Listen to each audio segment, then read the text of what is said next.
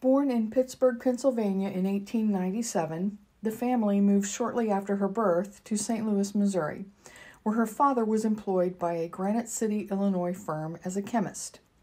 Her father, Emil Grueneberg, was educated at the universities of Jena, Germany, and Leipzig, Germany.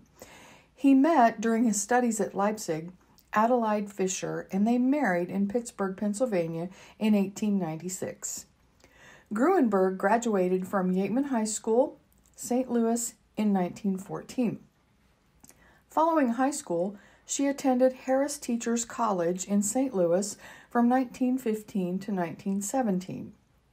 The college, established in 1857, was the first public teacher education institution west of the Mississippi River.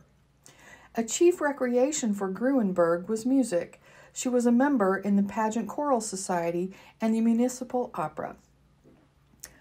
Grueneberg, in 1917, became employed as a second assistant teaching arithmetic, English, and reading in the St. Louis grade school system. During her early St. Louis teaching career, she resided at 6227 Dardanella. In 1922, she enrolled at the University of Missouri Columbia receiving a bachelor's degree in Romance and Germanic languages in 1925. Toward the conclusion of her undergraduate studies, Park College Dean Walter Sanders wrote Grueneberg, quote, in regard to your work in German and Spanish, and I have become interested in your preparation. She replied to Sanders, I am most anxious to make active use of my training, and the position you may want filled is one that I feel confident of being able to handle. In mid May 1925, Dean Sanders wrote, quote, Your preparation and experience entitle you to a very careful consideration. We have felt, however, that it is almost necessary for us to have a teacher with an advanced degree in this position. However, in early June 1925, Grueneberg was offered the position of instructor at the annual salary of $1,800. She accepted the offer two days later. Grueneberg joined, in the fall of 1925, a diverse and engaging department that taught French, German, Latin, and Spanish. Continuing her education was extremely important to Grueneberg. Following her first academic year at Park College, she entered the University of Chicago and completed her master's degree in Germanics in 1929. Over the next decade, Grueneberg continued her graduate studies at the University of Berlin, the University of Wisconsin at Madison, and the University of Bonn. While attending the University of Wisconsin during the summer of 1942, Grueneberg wrote Dean Sanders regarding teaching a class titled Reading in Military German in order to prepare upperclassmen that would serve in World War II.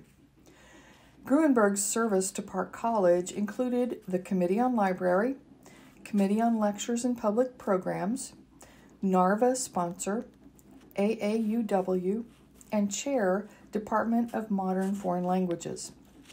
The conclusion of the 1956 57 academic year had Grueneberg preparing a sabbatical for the next academic year. Her sabbatical was to prepare two new courses Ancient and Medieval Architecture and American Architecture. She planned to enroll in an American Architecture seminar at Columbia University. She made her sabbatical headquarters in Munich, Germany, with additional excursions to Italy, Greece, and Egypt for class materials. Grueneberg was instrumental in developing English classes for international students and mentoring these students. In 1963, Grueneberg retired after a 38 year career at Park College. She received emeritus status the same year. The previous year, the Alumni Association of Park College elected her an honorary member. A former student writing at the alumni convocation in 1962 remembered Grueneberg.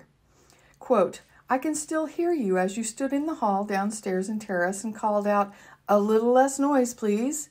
Or your cry of enraged agony as someone pounded on your piano in the little living room, F sharp.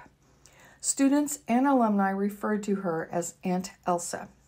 Retirement had Grueneberg traveling with her new three piece matching blue gray weary luggage given her by the Alumni Association. In late July 1963, she set out on the Abramson freighter for Beirut and Iran.